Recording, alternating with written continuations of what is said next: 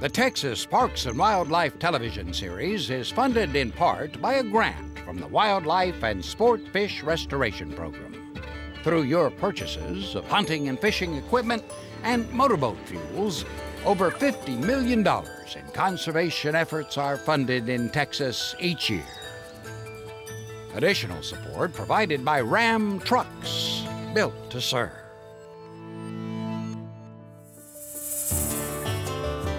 Coming up on Texas Parks and Wildlife.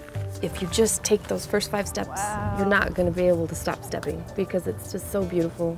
The variety of grasses, it's beautiful. It's, it's in really good shape. You know, a real good example of the Chihuahuan Desert grassland out here. I like to refer to as the original classroom. The human mind is wired to be attentive to this.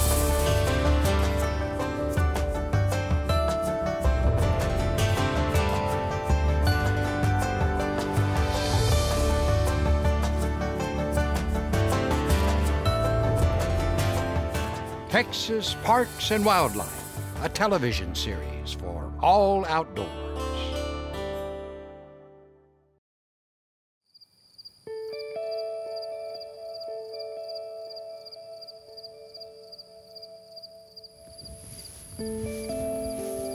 I'm Adrienne Sabom, and I'm a mother of two children.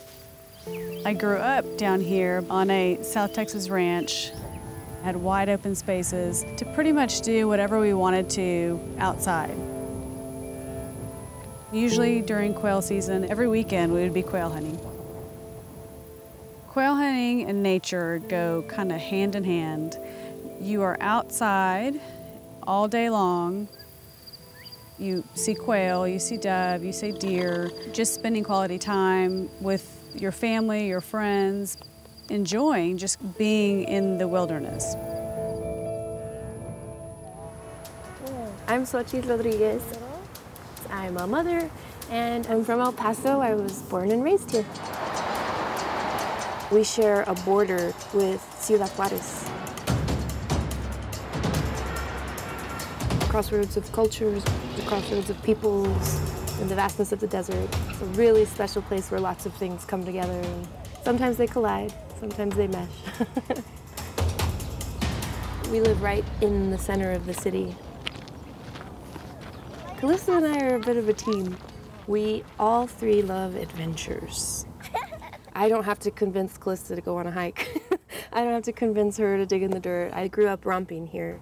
These are good sticks. Where'd you find them? Right over there. It's never hard for kids to connect to nature. I believe that we have built things that have gotten in the way and they're not given the opportunities that they need to connect. You have to see this. This mountain just booms right up from this vast, flat landscape. it's visually beautiful, but it's also um, such an incredible space to crack open and explore. We are lucky to have the largest urban state park in North America here in El Paso. Tens of thousands of acres of wild space preserved by the state of Texas.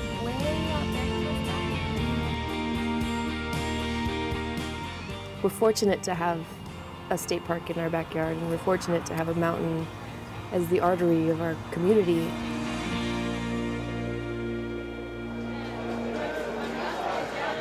Adrienne and I met at a Texas Parks and Wildlife Foundation event. I met Sochi at the We Will Not Be Tamed campaign launch party, and we were talking about, well, she has never shot a gun. She couldn't fathom that, and I had never hiked the Franklin Mountains, and so it kind of evolved into, well, maybe we should each do each other's thing.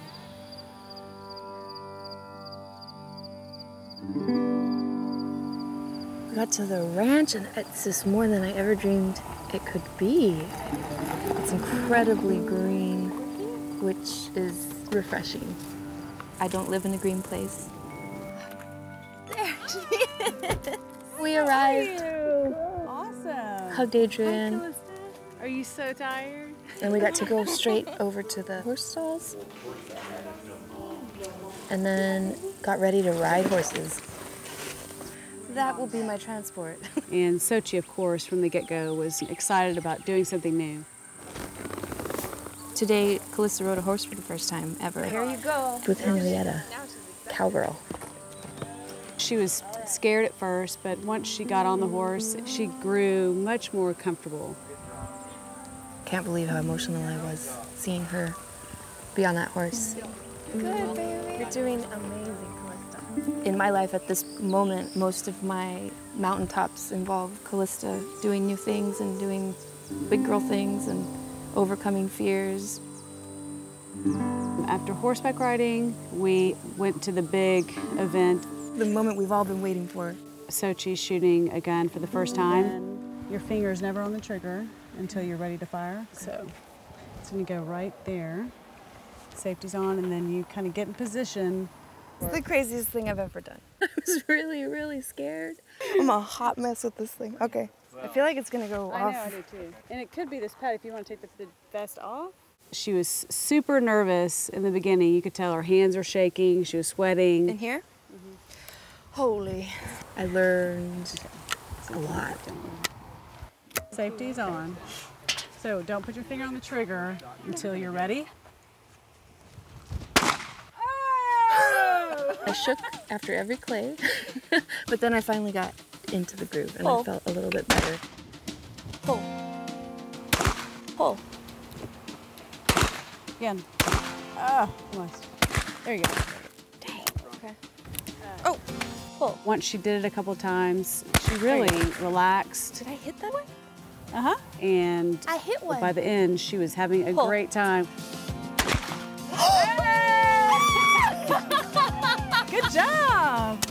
I learned to shoot alongside Adrienne and her family. Okay, pull. I could not have been with more amazing people. Ooh, wow.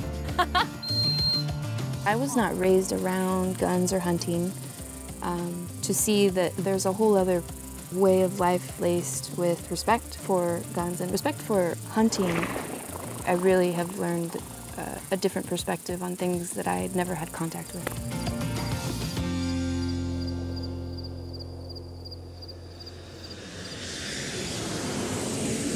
My friend Adrienne is in El Paso, Texas.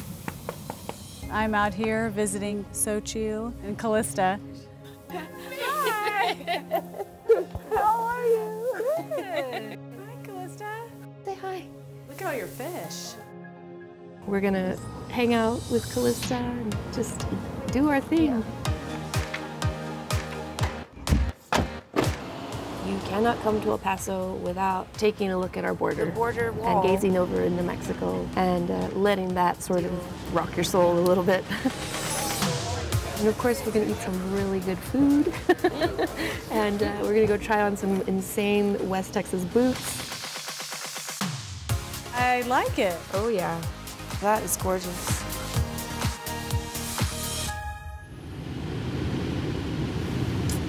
Here's our mountain. I also firmly believe that you cannot come to El Paso without hiking the Franklin Mountains. We're gonna summit. So we're not just gonna do a little hike. I think we're gonna do a big one. Intimidating. I have been hiking before, but I've never hiked in this environment, the arid, rocky terrain. Concerned about the hydration. How much water do you take? We'll usually take three liters plus a bottle of water. Yeah, now that it's summertime, I'll probably carry six liters of water with us tomorrow. Golly.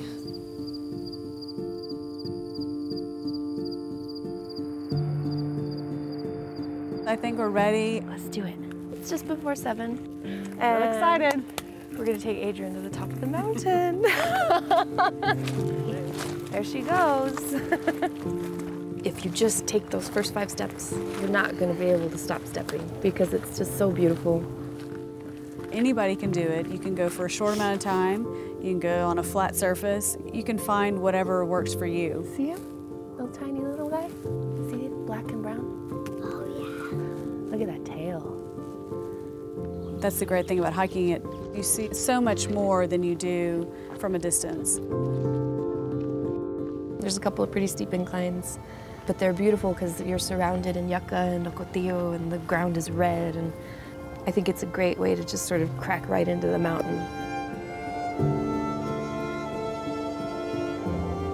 You get a sense of how giant the world is and how little you are, and you can't help but be quiet and just stop and be humbled in that space. To just sort of be silent and parallel in a place that's much bigger than you are. It's a beautiful and a, and a really powerful thing to experience.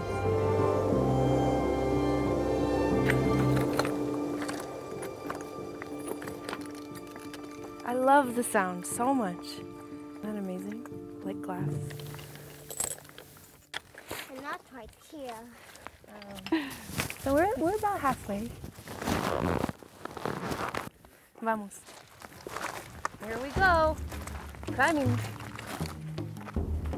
Hiking the Franklins is basically lunges all the way up the mountain.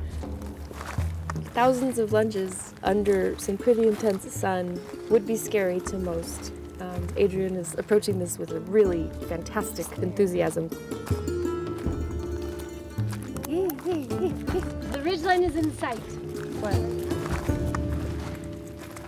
Almost there. It's breathtaking. Doing this with Sochi, it's a bond that you can create. The. The anticipation is killing me. And doing something that you both enjoy and being outdoors, you can really have quality time where there's no distractions. Oh my gosh, that was amazing. We did it. You see forever. Forever.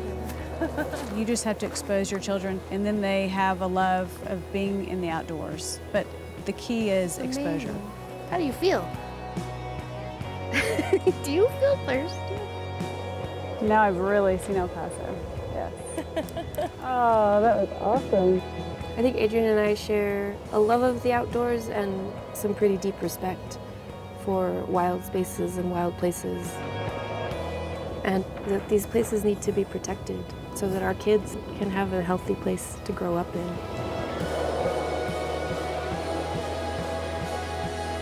This friendship is something that will last a lifetime. You just never know what you're going to find trying something new. You just never know what door it'll open.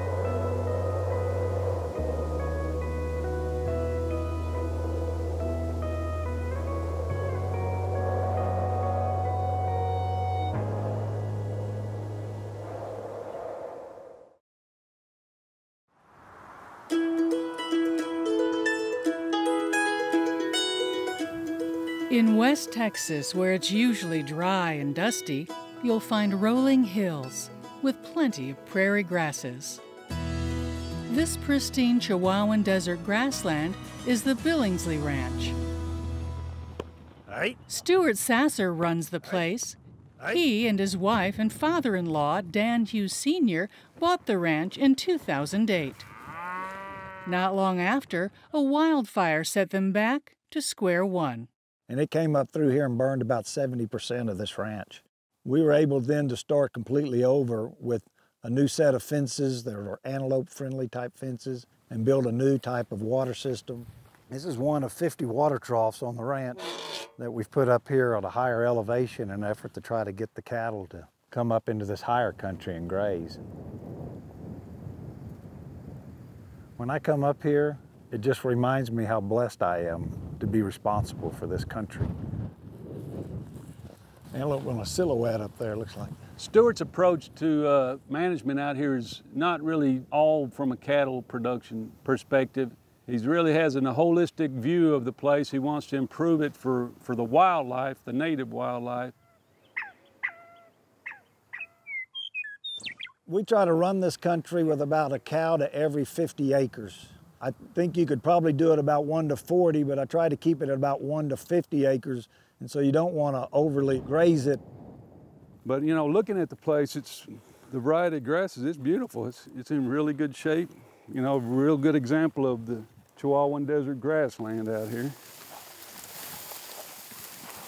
Another grass you'll see that's that you'll find in swales and wet spots is this stuff right here. It's called uh, vine mesquite. And it's one of the few grasses out here that, that really produces a big enough seed that the quail and dove will use it. It makes a good little seed. Stuart's Ranch is also a refuge for the fragile pronghorn, which has been struggling in the Trans Pecos as of late. With drought and dwindling numbers, biologists worry that they would disappear from this part of Texas. So, to boost numbers, they captured and translocated pronghorn here to West Texas. And his prime grassland habitat was just what biologists needed. We've completed seven translocations since 2011. The Hugh Sasser Ranch served as our release site for pronghorn in 2016. And the result of these translocations is an upturn in the population. And so we've actually doubled our population size since 2012 to today. One prairie management strategy that seems to be helping the pronghorn is a simple change in fencing. There we go. Researchers discovered that these free roaming foragers would rather go under than over. This way, pronghorn, when they're ready to pass through the area, are able to just simply move right under the fence. And so, this is an all hands on deck effort, and it is probably one of the most successful parts of our restoration effort. It's great, that's nice and tight. It's been about seven or eight years project, and we've just about opened all the fences in the Marfa area 300, 400,000 acres worth. The data shows that they use those passes tremendously, and I think that's going to alleviate some of the ups and downs of the population. It's all good pronghorn country. While the road to recovery looks promising for the pronghorn, makes me feel good. I feel like we're on the right track to get them to come back. Stuart's push to improve this Chihuahuan prairie continues. Feels like it puts a real responsibility on you to, to work it and maintain it and keep it in a good state and leave it better than the way you found it for the next generation is what you want.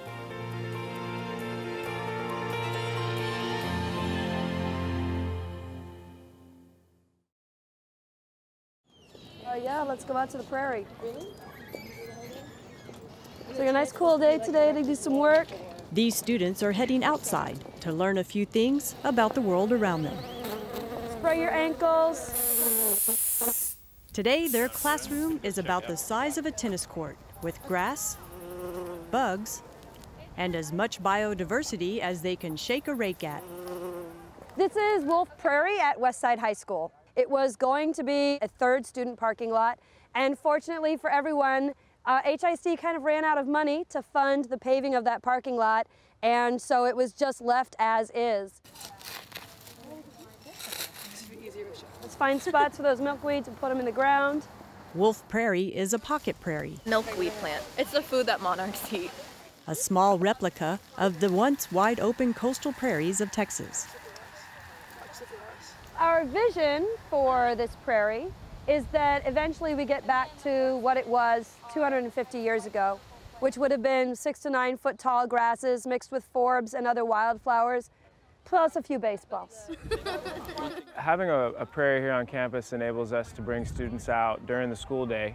We don't have to rent a bus. Anybody remember what these plants are? We can just walk them outside and we have access to wild spaces. Why burning the prairie would have been helpful for its biodiversity. It's going to kill off invasives and then nutrients into the soil. I like to refer to as the original classroom. The human mind is wired to be attentive to this. This is uh, called tickle tongue or ironwood. You get this weird tickling and numbing sensation on your tongue. This small pocket prairie has made a big impact on students like Akash. Even if I don't get to use this in my career, I definitely plan on being active in the community. Oh, hey, you guys, come see. There's a black swallowtail larva here. This is a black swallowtail caterpillar, and it's just an example of uh, how these little prairie patches, even though they're relatively small from a landscape scale, can be really great for pollinators. And you feel calmer, you said? Jaime Gonzalez calls himself a relationship counselor. I'm trying to fix a broken relationship between people and nature. I think we're working in a hybrid world. Technology is cool, but that nature, which is very ancient and a part of us, I think needs to be a part of our lives too because it, it keeps us grounded and healthy. That is the message behind author of Last Child in the Woods and co founder of the Children and Nature Network, Richard Louv. He explains the nature deficit disorder, how a lack of exposure to nature can dull the senses and be harmful to one's health. Finally, the people who study child development began to pay attention to the question of how does experiences in nature shape childhood. It's gonna be good. Studies ongoing at the University of Illinois, for instance, show that kids with just a little bit of contact with nature, just a walk through trees in an urban park, and the symptoms of attention deficit disorder begin to go down. The kids in the green schools did far better on standardized test scores. If children have less and less experience with nature, who will be the future stewards of the earth?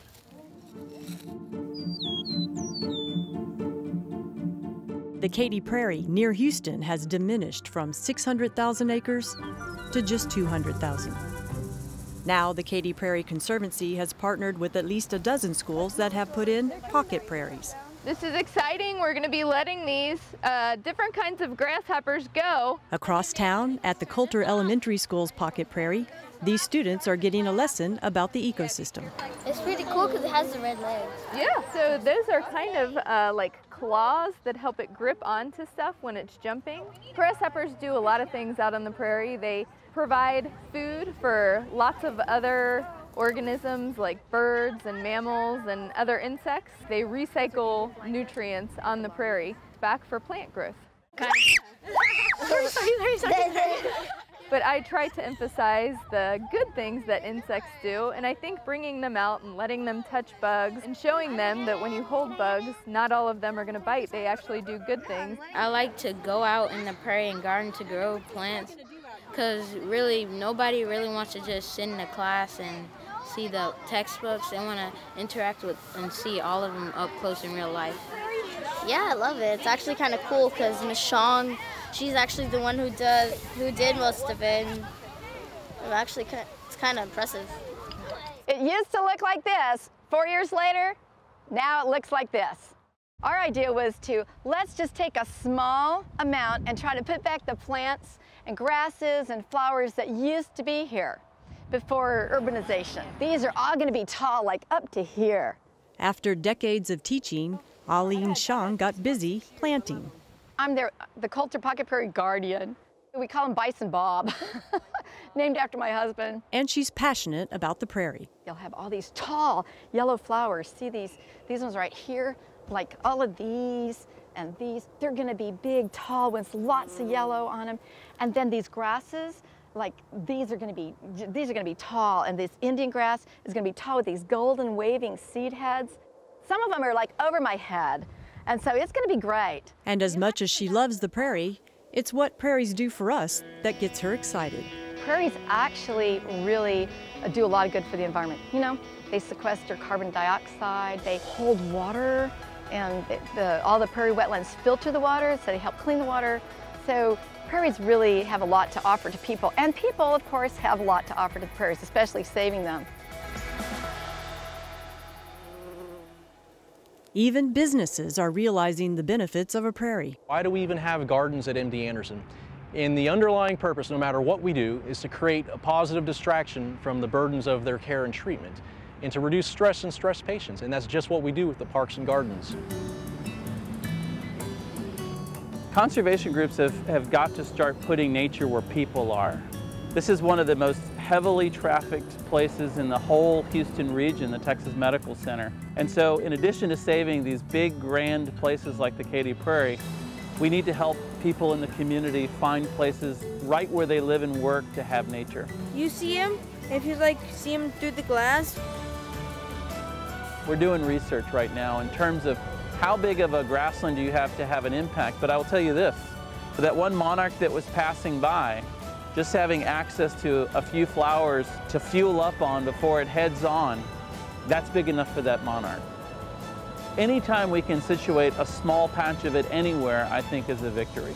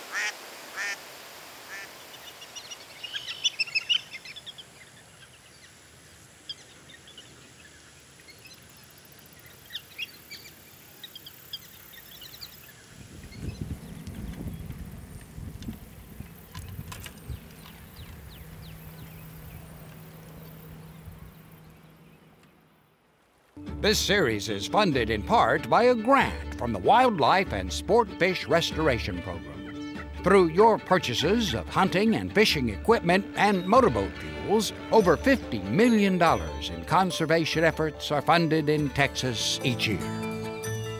Additional support provided by Ram Trucks, built to serve.